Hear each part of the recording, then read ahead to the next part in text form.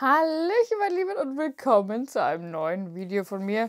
Wir packen heute meine Kliniktasche noch einmal aus, denn die ist tatsächlich schon fertig jetzt. Ich bin jetzt in der 37. Schwangerschaftswoche mit meinem dritten Kind und ich werde euch jetzt zeigen, was ich diesmal in die Kliniktasche eingepackt habe. Ich habe natürlich auch die letzten beiden Schwangerschaften immer ein Video zur Kliniktasche gemacht. Die könnt ihr euch auch gerne einmal anschauen, wenn ihr möchtet.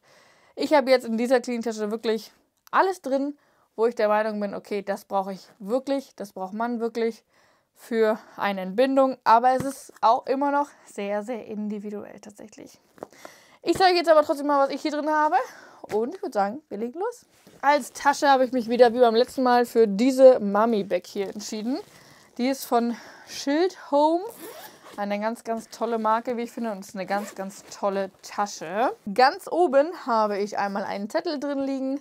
Da stehen Sachen drauf wie Mutterpass, Krankenkarte, Ladekabel, ähm, Stativ für. Das muss halt später noch rein. Das muss ich später noch reinpacken, ähm, wenn wir losfahren. Genau, dann habe ich einmal hier unsere Unterlagen aus dem Krankenhaus. Ähm, das habe ich bekommen bei der Geburtsanmeldung. Da ist schon der Kindergeldantrag ausgefüllt, fertig. Da ist schon alles für die Geburtsurkunde drin, fertig. Das müssen wir also nur noch dann, ja, im Krankenhaus abgeben und dann ist es fertig. Habe ich alles schon erledigt. Ganz oben habe ich ein rotes Handtuch drin. Das rote Handtuch ist für nach der Entbindung. Das wurde jetzt ja mehrfach bei uns gewaschen und ich habe es tatsächlich ein paar Tage bei uns im Bett liegen gehabt. Das heißt, es riecht jetzt tatsächlich nach uns. Richtig schön. Ähm, und das werde ich tatsächlich ähm, dem Baby dann überwerfen, wenn es geboren wird. Man empfiehlt das ja irgendwie weil dieses Rot halt eben das Kind so ans Mutter, an den Mutterleib erinnert. Und das ist tatsächlich das erste Mal, dass ich das mache. Aber genau, das lag jetzt wie gesagt ein paar Tage auch bei uns im Bett, sodass es richtig schön nach uns riecht. Es hat alles eine Reihenfolge in dieser, ähm, in dieser Kliniktasche. Das heißt, ich habe das wirklich so geschichtet.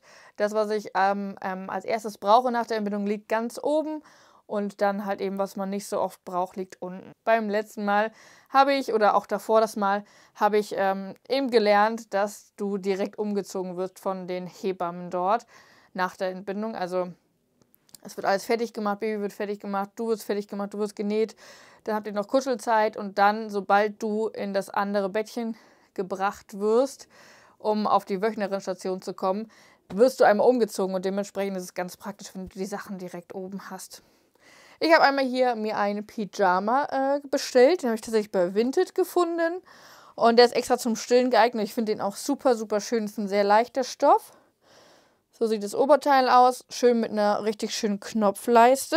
Und dazu eine Schwangerschaftshose. Und die hat hier auch noch so ein kleines Bündchen dran. Und ja, der Bauch nach einer Entbindung ist ungefähr so groß wie bei euch im sechsten Monat so direkt nach der Entbindung und auch noch den Tag danach meistens. Dementsprechend achtet drauf, dass es auf jeden Fall noch schön bequem und schön weich ist. Genau, dieses Set habe ich einmal mitgenommen und dann habe ich mir bei Shein ein, Set, ein Set bestellt. Ähm, genau, das ist jetzt nicht extra für Schwangerschaft gemacht, aber ich finde es auch sehr, sehr schön. Und zwar ist es auch einmal mit einer Hose, auch wieder ein ganz, ganz dünner, leichter Stoff. Und dann ist da einmal so ein Hemdchen dabei gewesen. Genau, einmal so, eine, so, ein, ja, so ein Blusenhemdchen. Und das ist natürlich auch super zum Stillen, aber ich finde es halt auch super, weil das muss man halt nicht so komplett zumachen. Das kannst du dir halt auch nur mal überwerfen als Cardigan. Oder du kannst es auch vorne knoten. Das finde ich super praktisch. Deswegen habe ich mir zum Beispiel auch dafür extra ähm, ja, noch so ein weißes Stilltop eingepackt. Dann kann ich das da drunter ziehen und das Hemdchen einfach nur so, falls es zu kalt wird oder so. Genau. Ein Stilltop also noch dafür dazu. Dann habe ich außerdem noch zwei weitere Stilltops äh, mitgenommen. Einmal so eins und einmal so eins. Und auch nochmal extra eine Schwangerschaftsleggings. Genau, falls ich mich irgendwie einsaue, whatever. Genau, aber beim letzten Mal habe ich eine ambulante Entbindung gehabt. Das heißt, da hatte ich tatsächlich nur ein Outfit gebraucht, um nach Hause zu gehen. Und bei meiner ersten Tochter weiß ich es gar nicht mehr ganz genau. Ich glaube, da habe ich auch zwei Outfits gebraucht. Eins für direkt nach der Geburt und dann noch immer eins für nach Hause. Hier bin ich, glaube ich, echt ganz gut gewappnet.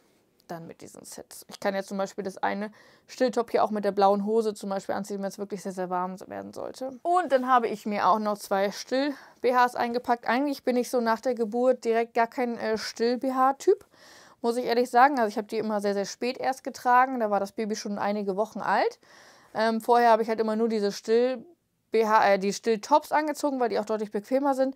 Aber ähm, genau, falls ich jetzt unter der Bluse wirklich nur den Still-BH anziehen möchte oder keine Ahnung, habe ich halt zwei Stück eingepackt. Ja, und dann habe ich für mich auch einfach nur noch ein paar Socken mit. Ich greife hier direkt meine Kulturtasche, meine Kosmetiktasche. Da habe ich hier die von den Kindern gemobst, wie ihr seht. So, und da sind auch wirklich nur die wichtigsten Dinge drin. Dinge, die ich wirklich nahezu täglich brauche alles außer den Massageball. Der ist nämlich für die Geburt, habe ich mir extra ähm, gekauft, damit ja, mein Mann mich vielleicht so ein bisschen unter der Geburt massieren kann damit und den Rest brauche ich wirklich täglich. So, wir starten einmal mit Shampoo. Das habe ich einfach abgefüllt in so kleine Flaschen. Einmal für meinen Mann, einmal für mich. Dann habe ich eine neue Bürste gekauft und direkt reingetan. Ich habe noch das Regenerationsspray von Lansino mit. Ich glaube nicht, dass ich das gebrauchen könnte, weil ich das Gefühl, also ich glaube nicht, dass ich eine Verletzung davon trage, weil es beim letzten Mal auch nicht so war, nur beim ersten Mal. Aber man weiß ja nie. Zahnbürste, Zahnpasta für meinen Mann und mich. Und dann habe ich auch nur noch meine Gesichtscreme hier abgefüllt in so ein kleines Döschen. Eine allgemeine Creme, die ich für alles benutze. Meine Tabletten, die ich brauche für drei Tage. Da ist alles drin. Folsäure, Schilddrüse und Eisen. Und dann einmal mein Geruch, geruchloses ähm, Deo.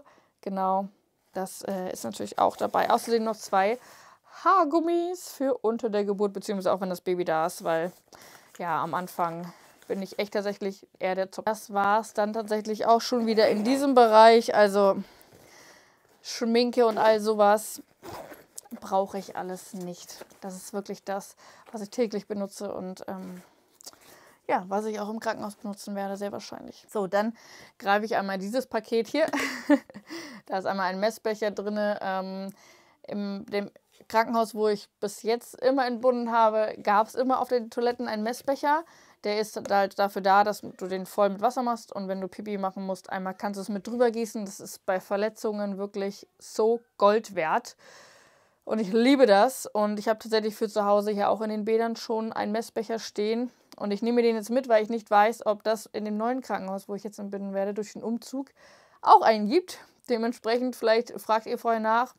Ansonsten kann ich es euch absolut empfehlen. Viele empfehlen hier auch diese Po-Duschen, Intimduschen.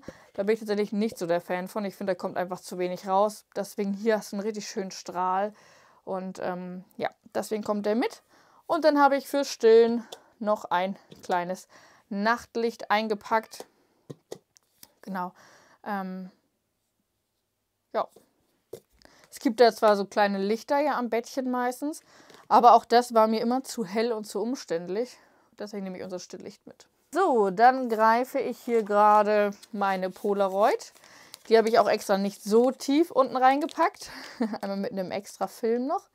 Ähm, damit wir die auch nach der Geburt direkt nutzen können. Das hätte ich tatsächlich gern bei meinen Mädels auch gehabt, aber da habe ich sowas noch nicht im Kopf gehabt.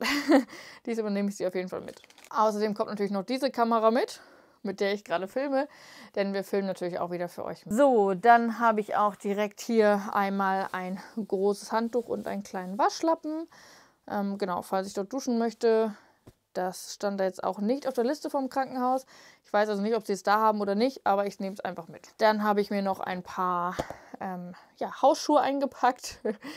Die äh, braucht man dort natürlich auch und ist auch sehr, sehr praktisch. Braucht man nicht immer seine Straßenschuhe anziehen, wenn man da mal schnell über die Station läuft oder auch im Zimmer oder so. Genau, deswegen einmal Hausschuhe.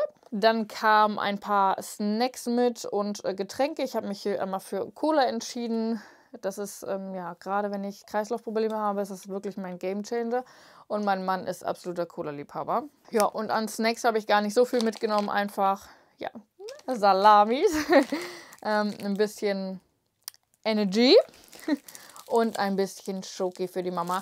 Aber die Sachen werden wahrscheinlich eher für die Wöchnerinstation sein, weil unter der Geburt habe ich alles, aber keinen Hunger. Jetzt starten wir offiziell mit den Sachen fürs Baby. Genau, ich habe hier ein kleines Säckchen mit ein paar Stillutensilien drin. Und hier habe ich einmal zwei abgekochte Schnuller. Ich denke nicht, dass wir die gebrauchen werden. Ähm, ich habe sie einfach mal mitgenommen, weil es natürlich immer, man weiß nie, was kommt. Aber ich bin ja tatsächlich sowieso keine Schnullermama, muss ich ehrlich sagen. Also ich bin froh, dass meine Mädels keinen wollten. Und ich äh, hoffe auch, dass der Kleine keinen möchte. Aber natürlich habe ich trotzdem welche da und ich werde sie auch mitnehmen. So, dann habe ich hier, wie gesagt, mein kleines Stillsäckchen. Mein Stillsäckchen besteht aus zwei Multimam-Kompressen. Einmal einer Lansino Brustwarzensalbe. Und dann habe ich nur meine geliebten waschbaren Stilleinlagen dabei, ebenfalls von Lansino. Und ein paar verpackte Stilleinlagen, die sind auch von Lansino. Die waren tatsächlich jetzt einfach noch übrig aus meiner letzten Wochenbettzeit. Und auch die Stilleinlagen, ähm, die waschbaren sind auch noch vom, vom letzten Stillen. Kann ich auch sehr empfehlen. Ich liebe die sehr. Ähm, genau, ich habe jetzt einfach mal beide Varianten mitgenommen, weil ich einfach auch nicht weiß, was gefällt mir dann tatsächlich am besten. Ja, und falls die Waschbaren irgendwie ausgehen oder sowas, habe ich alles hier in diesem kleinen Säckchen drin. Ich denke auch nicht, dass ich dieses Säckchen gebrauchen werde, weil tatsächlich die Brustschmerzen bei mir immer erst einige Tage nach der Geburt gekommen sind. Für alle, die mich kennen, die wissen, dass ich meinen Kindern im Krankenhaus immer eigene Klamotten anziehe und nicht die Klamotten, die im Krankenhaus gestellt werden. Das habe ich äh, bei meiner ersten Tochter so gemacht und bei meiner zweiten, wie gesagt, war eine ambulante Geburt. und jetzt werden wir es auch wieder so machen, wenn wir im Krankenhaus bleiben. Das heißt, ich habe drei Outfits für den kleinen Mann eingepackt, alles in Größe 50 wenn wir dort vor Ort sind. So, ich hoffe, das reicht. Dann habe ich zwei Meilensteinkarten mitgenommen. Diese beiden hier für ja, die ersten Fotos. Und dann habe ich hier noch einen extra Strampler. Da möchte ich tatsächlich auch gerne einfach ein Foto mitmachen. I'm new hier. Das ist auch richtig, richtig mini. Der ist von Next und genau, den wollte ich einfach ein süßes Foto im Krankenhausbettchen mitmachen, muss ich ehrlich sagen. Und es ist natürlich auch schon das vierte Outfit dann, falls der Kleine sich irgendwie voll spuckt, so wie meine Mädels. Außerdem habe ich dann noch dieses coole Teil hier dabei. Das ist so ein Strampelsäckchen, was unten keine Füße hat, sondern offen ist. Das knotet man nur so zu. Das heißt, das Baby ist die ganze Zeit mit den Füßen frei. Und ich werde tatsächlich die meiste Zeit ähm, versuchen, den Kleinen nackig zu haben und ganz viel zu bonden. Und wenn wir dann doch mal irgendwie auf den Flur müssen, dann ziehe ich ihm halt das schnell drüber. Genau, ihr könnt ja gerne mal in die Kommentare schreiben, ob ihr das kennt und ob es bei euch geklappt hat. So, dann dürfen natürlich auch Spucktücher nicht fehlen. Genauso wie ein Pucktuch. Also ich habe zwei Spucktücher dabei und ein Pucktuch. Das ist, gehört einfach dazu. Bei einem Spuckbaby vor allem. Jetzt kommen wir zu dem Coming Home Set. Ähm, das, was wir anziehen, wenn wir nach Hause fahren. Und ein paar Söckchen habe ich hier noch gefunden für den Kleinen.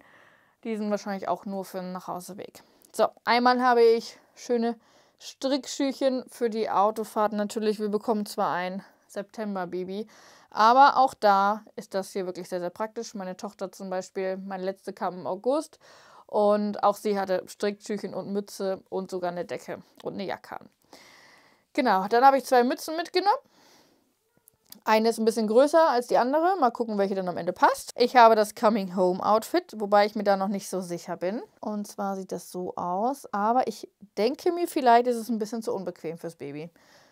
Ich weiß es nicht. Ich bin mir sehr, sehr unsicher. Es ist halt ein Wickelbody dabei und eine Latzhose, aber wie gesagt, kann auch sein, dass er nachher irgendwas von den anderen Sachen anbekommt. Das ist übrigens alles in 50, weil ich mir sehr, sehr sicher bin, dass mein Kleiner auch wieder ähm, ja, mit 50 geboren wird. Dann haben wir natürlich auch noch eine Strickjacke dabei. Wie gesagt, hatte meine letzte Tochter im August auch an, als wir nach Hause gefahren sind. Genau, so eine ganz dünne, richtig süß, auch ganz, ganz mini. Und dann natürlich auch die Decke. Einmal so eine schöne Strickdecke. Die werde ich jetzt aber jetzt wieder auspacken, weil ich mir tatsächlich eine andere bestellt habe und die hängt jetzt gerade hier. Und genau, die finde ich einfach noch ein bisschen schön. Das ist aus Merino-Wolle. Und die ist nicht so fest. Und ähm, genau deswegen werde ich die jetzt einpacken. Finde ich tatsächlich ein bisschen schöner. Oder? Was sagt ihr? Das letzte, was ich jetzt hier ähm, eingepackt habe, ist einmal ein Set für meinen Mann. Das heißt, einmal ein frisches Set für ihn zum äh, Wechseln. Da kommt noch eine kurze ähm, Hose dazu falls er, also sehr wahrscheinlich wird er bei mir mit im Krankenhaus bleiben. Und dann kann er sich natürlich auch einmal umziehen. Das ist meine Clean-Tasche für Baby Nummer 3. Und ja, ich bin äh, sehr gespannt, ob wir überhaupt da bleiben werden, weil ich, wie gesagt, es kommt für mich nicht in Frage, allein dort zu bleiben im Krankenhaus. Ich bin nicht so der Typ dafür, ich mag das nicht so gerne.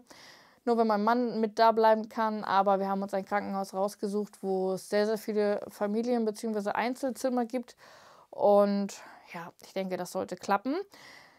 Ja, und ähm, dementsprechend habe ich auch gepackt für drei Tage ungefähr. Ich möchte mir die Ruhe tatsächlich gerne geben beim dritten Kind, weil ich beim letzten Mal mit der ambulanten Geburt schon gemerkt habe, dass es echt ähm, ja, stressig ist, wenn man direkt nach der Geburt nach Hause geht, direkt wieder im Alltag ist und äh, für mich war das einfach too much. Und deswegen möchte ich mir eigentlich gerne diesmal äh, die Zeit nehmen, aber mit den Schwangerschafts-, äh, mit den Geburtshormonen und diesem neugeborenen Baby daher im Arm werde ich, glaube ich, ganz schön damit zu kämpfen haben, dass meine großen Mädels zu Hause sind auf, und auf mich warten. Und äh, ja, vielleicht ist das nachher auch der Grund, warum ich nach Hause fahre.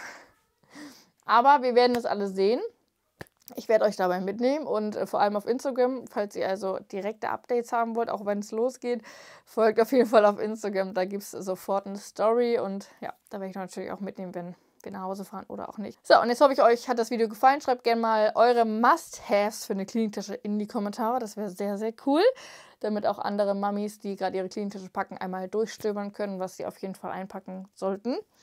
Ich denke, ich bin mit dieser Kliniktasche wirklich ja, eigentlich ganz zufrieden. Also, ähm, ja, siehst du mal wieder ein bisschen anders als die letzte. so, und jetzt wünsche ich euch einen ganz, ganz wundervollen Tag und bis zum nächsten Mal. Tschüssi!